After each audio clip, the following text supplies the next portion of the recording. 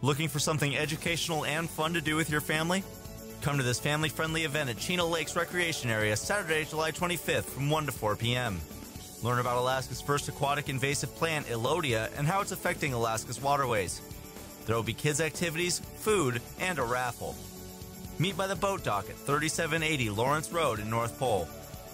For more information about this fun event or about the Elodea plant, call Fairbanks Soil and Water at 478 1213.